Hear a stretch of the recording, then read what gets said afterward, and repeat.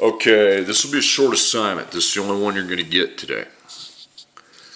There are 500 stray cats in the town of Alta. That amount is going to increase by 5%. How many cats will there be after the 5% increase? Now, this is different than yesterday. Don't just go setting that up, decide you know what you're doing, putting it over 100. It ain't going to work that way. Notice how it doesn't say of after the percent. So you don't see of, no of. So I'm not, I can't line that up over 100 if it's not an of. Instead, it's called an increase. It's not a percent of, it's an increase. There is a specific formula you use with increase and decrease, okay? That formula is this. The percent multiplied by the before amount equals the after amount, okay? Now you got to be careful with your percent. There's a couple, don't just put in five, okay? You put in that, it's going to be wrong. What you need to do to fill in the percent is you need to always start with 100% and then you either add or subtract the percent. Well, since it says increase, we're going to add it, okay? So 100 plus 5 is 105%. Now, so you're like, okay, I'll just put 105 right there. No, you need to put the decimal at the end and move it twice this way. This way, left. Backwards, left, whatever you want to call it. One, two.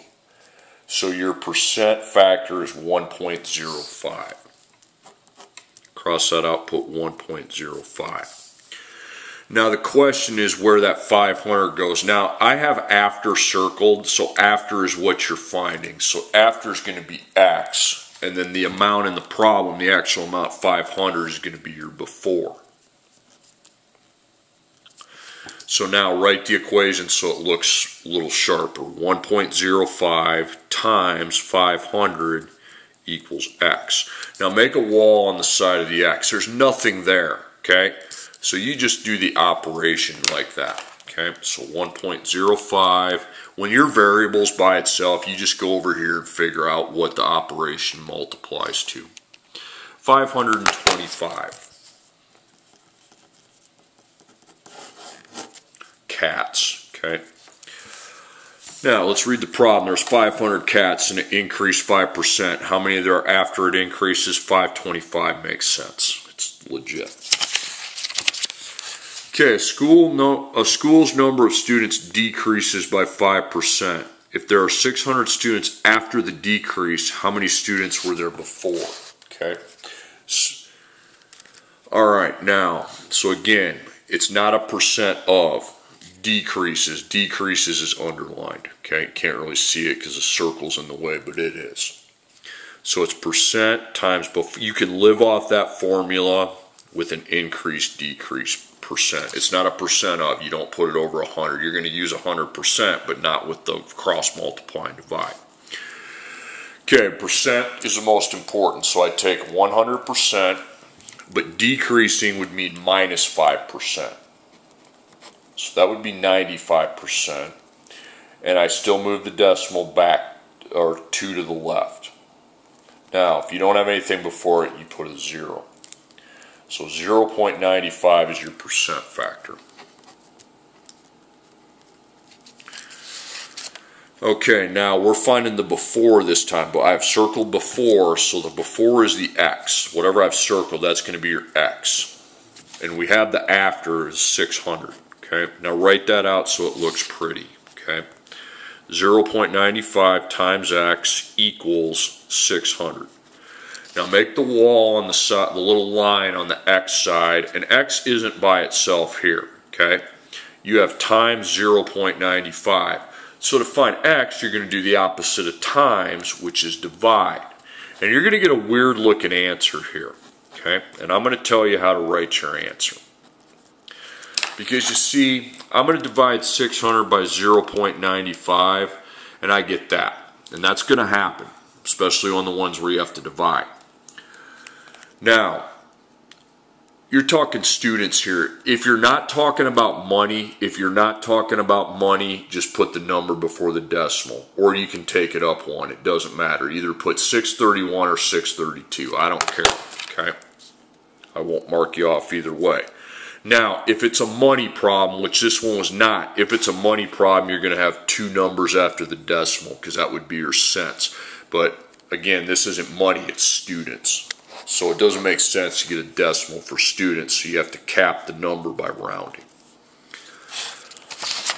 Okay, next one. An item is marked up 15%. It costs $15.59 after the markup. What was the price before the markup? So again, it's not percent. None of these are percents of where you can just put them over 100. So it's percent times before equals after. So take your 100%.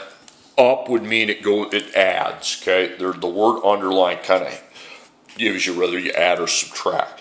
So it's 115%. You got to move the decimal two to the left, and you have a one in front of it, so 1.15, and that's your percent factor. Again, since we're not putting it over 100, we have to make that percent into a decimal by moving it two to the left. Now I'm finding the before, that's what I don't know. Okay.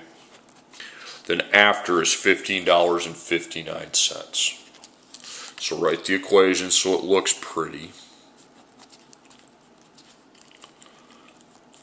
Make a wall on the side of your variable, your letter. Now, x is not by itself, it has a times, so I need to divide to figure x out, okay? Because if I see times, the very if I see the letters being times, I need to divide. And when you divide, you get some weird answers, okay? So 15.59 divided by 1.15. Now, how do I, now is this a money problem? Yeah, dollars is the problem. So I take two digits after the decimal. So either put 13.55 or 13.56. It doesn't matter to me. It's an approximation. And that makes sense. Okay, you wanted to find what it cost before, so 1355 before, then was marked up 15%. It ended up at 1559. Makes sense to me. Okay, an item is on sale for 25% off its original price of $45. How much is it after the sale? So you take 100%, okay? No, set up your equation first. Again, it ain't percent of, it's percent off. So percent times before equals after. So when it doesn't say of, you can't put it over 100 and then cross multiply, divide. It ain't going to work like that. It ain't going to be that easy. Okay, off. So that would be minus 25%. So it'd be 75%. You still got to move the decimal twice to the left. So zero, put a, if there's nothing before the decimal, you put a zero. So 0.75 is your percent factor. Okay, after is what I'm trying to figure out. So that's X, and then before is $45. So now you have 0.75 times 45 equals X. So now X is on this side, but X is by itself, okay? If X is, if the variable is by itself, you just come over here and figure that out, okay? Zero point, you don't have to do the opposite or anything like that. 33 point, now this is a money problem, so I want those two numbers after the decimal, okay? So 33.75.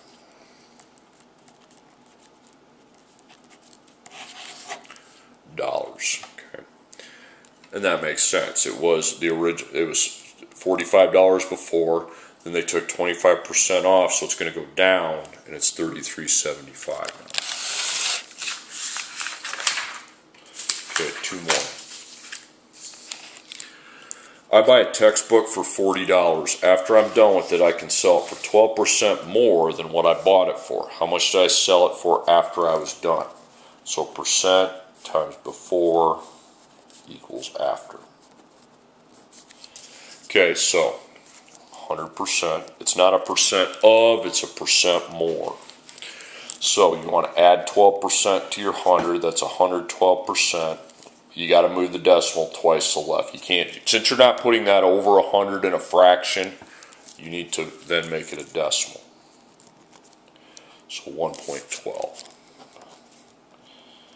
Now, after is highlighted, so that's what I'm looking for. And then $40 is the before amount. So the equation is 1.12 times 40 equals x. Okay. Now x is by itself, that means I can just perform the operation that I see on the other side. So 1.12 times 40 now, 44.8. Now, this is a money problem, so I want two numbers after the decimal. Now, you're like, I only see one number. Well, then you put a zero and make it 80. Okay? So 44.80 equals x. Remember, we want decimals on money problems. If it's not a money problem, then you just take the whole number in front of the decimal. Okay, my last problem. Gas decreased in price by 5%. If the price after the decrease was $2.39, how much did gas cost before it decreased? So you have percent times before equals after. Okay, so percentage, 100% decreased by 5%, so minus 5%, that's 95%, okay? Trace the decimal back twice. So 0.75 is my percent factor. Okay. All right, we have the we're looking for the before. Okay. And the after is 2.39. Okay. So 0.95 times x equals 2.39. Okay x is not by itself, so you circle, if you have times, you circle it, which we have times, and we just have to divide, okay? And then I'll know what x equals.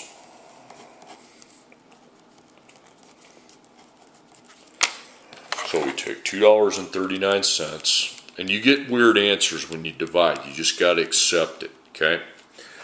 Now, do I want a decimal? Yeah, because I'm talking about money. I want two digits after it. So 2.51, you could go 52 if you want. I don't really care if it's 251 or 252, as long as you get one of the two.